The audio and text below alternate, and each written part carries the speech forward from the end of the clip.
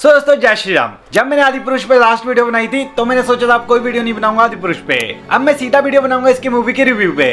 पर आदि पुरुष के मेकर्स कहाँ रुकने वाले हैं? उन्होंने फिर से एक बार मौका दिया आदि पुरुष पे बात करने के लिए जो कि आदि पुरुष का फाइनल ट्रेलर सो so, इस फाइनल ट्रेलर को देख के ये प्रूव हो चुका है कि हमारे को फाइनली कुछ भी ढंग का देखने को नहीं मिलने वाला इस मूवी से। मूवी रिलीज़ होने जा रही है सोलह जून को और उससे दस दिन पहले इन्होंने बहुत बड़ा इवेंट रख के एक फाइनल ट्रेलर रिलीज़ करा जो कि बिल्कुल भी ढंग का नहीं है। जिसका मेरी माने तो बिल्कुल भी ज़रूरत नहीं थी। इसका जो पहले ट्रेलर आया था वो बहुत ही ज़्यादा अच्छा था। ये ट्रेलर हमारे को याद दिलवा रही है इसके पहले टीजर का जो कि बिल्कुल भी अच्छा नहीं था।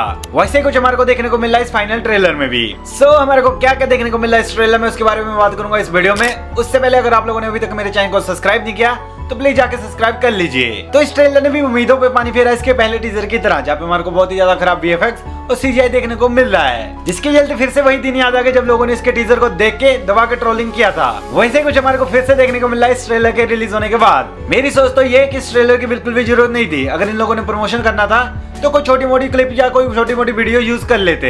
ये दूसरे ट्रेलर की स्ट्रेटेजी इन लोगों की बहुत ही ज़्यादा खराब निकल चुकी है, जहाँ इन लोगों ने फिर से मौका दे दिया लोगों को इस मूवी के बारे में बुरा बात करने के लिए। सो इन लोगों ने मौका दिया तो फिर से एक बार करते हैं इसको जलील। तो सबसे पहले इन लोगों ने रावण को तो ऐसे छुपा लिया, जैसे की रावण को छुपा के इन लोगों ने बहुत बड़ा तीर मार लिया हो। जो की एक बहुत ही ज़्यादा अच्छी स्ट्रेटेजी है, पर हम लोगों को पता है की ये लोग रावण के साथ कुछ खास चेंजेस नहीं कर पाए हैं। पर कहीं कहीं रावण देखने को मिल जा रहा है, जहाँ पे साफ़ साफ़ पता चला है कुछ भी बदला नहीं गया रावण के साथ। जो कि हम लोगों को पहले से पता था कि ये लोग कुछ भी चेंज करने वाले नहीं है। अगर ये लोग रावण का स्ट्रक्चर चेंज करने बैठे तो उन लोगों को बहुत ही ज़्यादा शूट करना पड़ जाएगा। जिसके लिए इन लोगों को बहुत ही ज़्यादा पैसा और टाइम लगेगा। जो की इन लोगों ने करने की कोशिश की, पर मुझे लग रहा है वो सारा बेकार गया। पर ये छह महीने में बहुत सारी चीज़ें चेंज कर सकते थे, जैसे की रावण की सेना, वानर सेना रावण की लंका और भी बहुत सारी चीज़ें जो कि इन लोगों ने शूट नहीं की थी। जो इन लोगों ने कंप्यूटराइज बनाई थी, वो सारी चीज़ें चेंज किया जा सकता था, पर पता नहीं इन लोगों ने छह महीने में क्या किया?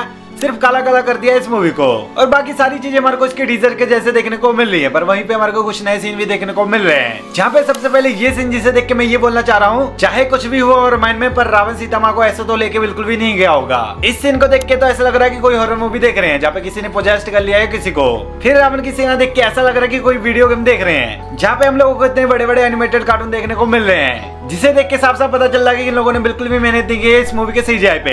ऐसा लग रहा है कि बानर सेना से लेकर राक्षस सेना तक इन लोगों ने कहीं ना कहीं से चोरी किया है। फिर डायलॉग्स की क्या बात करें? यहाँ पे कुछ लोग ऑफेंड हो जाएँगे, पर पहले मेरी बात पूरी सुन लो। डायलॉग्स बहुत ही ज़्यादा अच्छे है, पर इन लोगों ने उसको भी अच्छे से सिंग करने का कष्ट बिल्कुल भी नहीं किया। सब कुछ बिखरा बिखरा जहाँ पे इसका एक्शन देख के तो ऐसा लग रहा है कि कोई वीडियो गेम चल रही हो, चाहे वो प्रभास के एक्शन हो, बानर सेना के या फिर राक्षस के, सबके सब ऐसे लग रहे हैं कि कोई वीडियो गेम चल रही हो। जो हाइप इसके पहले ट्रेलर ने क्रिएट करा था, वो सारा का सारा मिट्टी में मिल चुका है इस ट्रेलर से।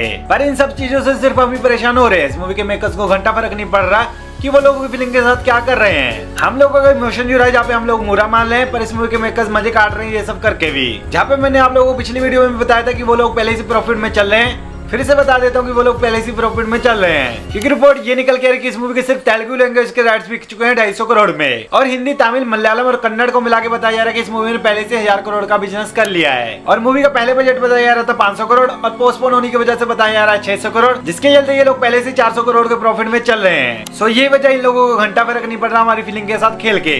फिर मैंने कुछ ट्वीट और कुछ वीडियो देखे जहाँ पे लोगों का कहना ये की हमारे को पाँच करोड़ में अवतार जैसा सीजीआई और बीफेक्स देखना है। तो उन लोगों को मैं ये कहना चाहूँगा, हम लोगों ने बिल्कुल नहीं कहा कि हमारे को बीएफएक्स और सीजीआई वाली रिमाइंड देखनी है। अगर वो लोग इस मूवी को बिल्कुल सिंपल और नेचुरल शूट करते तो बहुत ही ज़्यादा अच्छा होता। पर इस मूवी के मेकर्स को कुछ यूनिक बनाना था और लोगों का हटना था, जो की हमारे को देखने को भी मिल रहा है। फिर पाँच सौ, छह सौ करोड़ रूपए बहुत ही ज़्यादा होते हैं, जहाँ पे हमारे को उसके कम में ही बहुत ही ज़्यादा अच्छी बीएफएक्स और सीजी वाली मूवी देखने को मिलती है। जिसका सबसे बड़ा एग्ज़ाम्पल है हाल फ़िलहाल में आया टीजर हनुमान का, जिसका बजट सिर्फ़ 200 करोड़ बताया जा रहा है। और इन दोनों मूवीज़ के बीएफएक्स और सीजीआई में बहुत ही ज़्यादा फ़र्क है। और वही हम लोगों ने पास में भी बहुत ही ज़्यादा अच्छा बीएफएक्स और सीजीआई वाली मूवी देखी है।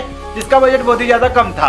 सो ये गलत होगा कि हमारे को 500-600 करोड़ में कोई अच्छी बीएफएक्स और सीजे वाली मूवी देखने को नहीं मिल सकती। पर वही अगर आप लोगों ने अपने आँखों पे पट्टी बाँध के रखनी है तो वो आप लोगों की मर्ज़ी है। सो कुल मिला के बात करें तो मैं बहुत ही ज़्यादा डिसअपॉइंटेड हूँ इस ट्रेलर से। आप लोगों के रिएक्शन है मुझे कमेंट सेक्शन में बताना मत भूलना। वीडियो में कुछ अच्छा लगा तो लाइक कर देना चैनल को सब्सक्राइब करना मत भूलना। अपने उस दोस्त के साथ शेयर करना जिसे फिल्मी कीड़ा है।